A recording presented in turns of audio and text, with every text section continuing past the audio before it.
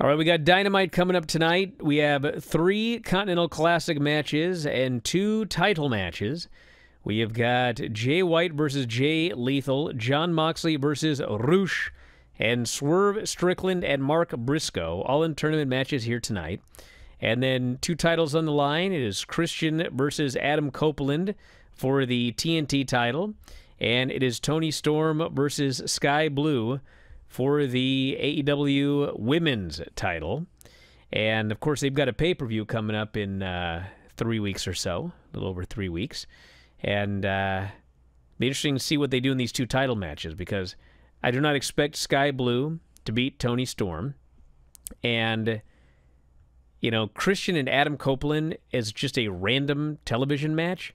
That seems like it should be a much bigger match. And I'm wondering if there's going to be an angle tonight, whether it be somebody returns to screw Adam Copeland, somebody turns on Adam Copeland. I got one person I'm thinking about. So I guess we'll find out tonight. I presume I presume there's going to be something leading to a rematch with the stipulation at the World's End show. But I guess we'll see. I would think so. No, no reason to give this away in its entirety already yet. I mean, I know that Edge has blown through Luchasaurus and Nick Wayne and delivered con-chair-tos to both of them. So it seems like okay, the only thing left is Christian, but to me, it's way too early to pull a trigger on doing this. So have a great TV match tonight as much as you can. Have a great angle that leads to something, and I think that's the way to go. I have a feeling when it comes to Toni Storm and Skye Blue that that title is staying exactly where it's at, especially because we're getting a special entrance tonight from Toni. Oh man, I got people mad. What do you mean random television match? Listen, everybody, listen. Do you know how long this company has stretched out matches? I mean, we're still waiting for Swerve and uh, and uh, Keith Lee. Keith Lee, by the way. There's a pay per view in three weeks, okay? It's one thing when they were doing a pay per view every three months, okay? I get it. Every three months you're doing a pay per view, you got to get some uh, some big matches on TV or whatever. But there is a big pay per view coming up at the end of, of December. They need big matches for the pay per view. And I'm sorry, Edge versus Christian, Adam Copeland versus Christian, is one of the biggest matches this company has right now. And they're doing it for free on television. Okay? There's got to be a reason for this. There's going to be an angle, there's going to be something to set up a bigger match, a bigger rematch at the pay-per-view. This is this is unusual. They go to Canada all the time, DJ. I know they need some from Montreal, but like it hasn't helped that much for the Montreal ticket sales. They're still about 4,000. So uh yeah, Montreal screw job is what's going to happen. I'm telling you guys. Oh God, don't even bring that up. Oh, you know what's going to happen. There's going to be a Montreal screw job. Anyone want to take a bet?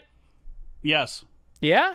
Yeah, because you know? I'll Oh. take this bet. I'll take this bet because I can come on here tomorrow and curse Tony Khan and all of his booking minions into the ground if they go ahead and decide to rake this one back up and raise this one from the dead. We have had so many of those in the last 25, 30 years, whatever it's been now, since that initial Montreal Survivor Series, that it's tired, it's lame, it never gets done well, and unless there's some amazing new twist, I'm not interested in seeing it. I'll take one of the other pages from throughout history where we just have an angle that happens that's not a screw job that ends up pushing Edge and Christian into another match. All right, fine. I, I think there's going to be a screw job tonight. So I will bet you. It's so stupid. I got to think of something silly. Okay, so well, okay, Make what's you wear something wacky then? on the air, or something like that. What's the screw job then? What do you think it's going to be? How do you think it plays itself Nick out? Wayne's a- mother screwing Edge out of the title because he speared her child and gave him a con-chair-to? Huh? well, I think it's obvious where this is going. Or, Shayna? you know, Nick's been gone for a long time. He could just return. You know, Nick Nick could actually return and screw him tonight, and then uh, Nick Wayne's mom screws him at the pay per view. Build up to another pay per view. There's a lot of ways you can go. Yes. I guess Jordan Oliver won't debut. I, see that Nick has uh, trademarked East West Express. Hmm. Mm-hmm. Maybe uh, Christian can have some more kids and uh, enter the fold. Maybe he can have some uh, some kids with Shayna. How about that for a screw job? I would like to uh, wish the best to Wes Lee, who is uh, badly injured, although we don't really know exactly what. We know he's having back surgery. Sciatica. And he mentioned that he could not feel his legs, which is certainly not good. Paul, but he was I can't feel my legs. he was in the ring and he did have a uh, he did have a crutch, so I mean he can he can walk and everything, but uh, he's he's uh, he's in bad shape. So he is off the pay per view this Saturday. He will be out eight to twelve months with back surgery, and uh, the timing. I mean, there's never good timing, but uh, you know they did this Dominik Mysterio thing for months and months and months, and uh, and Saturday was going to be the big day, and a couple days before, he ends up getting hurt, and so uh, he's never going to get that big win over Dominik.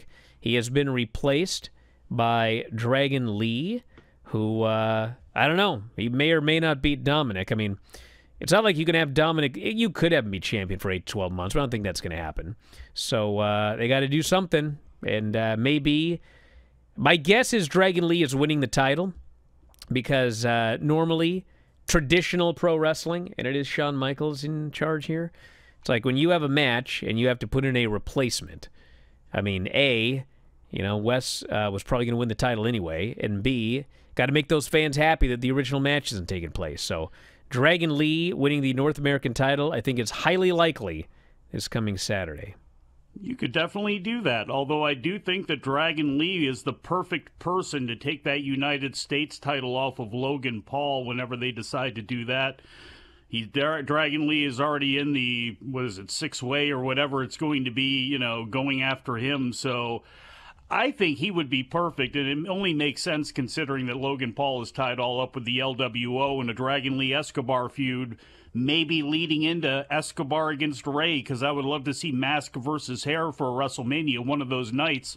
Maybe that's the way you can go.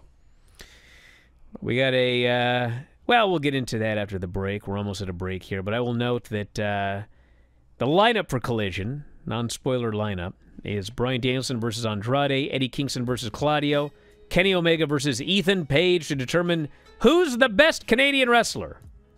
Back in a moment with more Observer Live.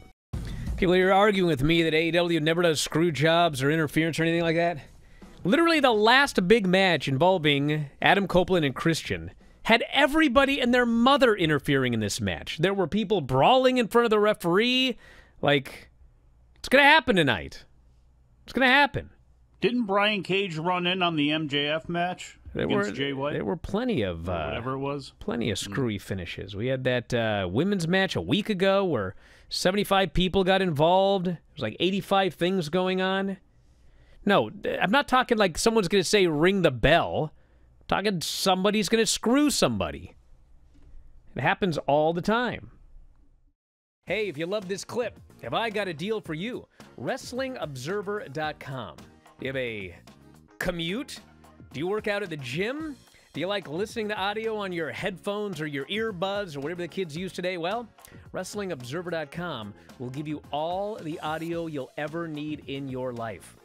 Over 15,000 audio shows. Every audio show that we have ever done, dating back to 2005, is available for subscribers at WrestlingObserver.com.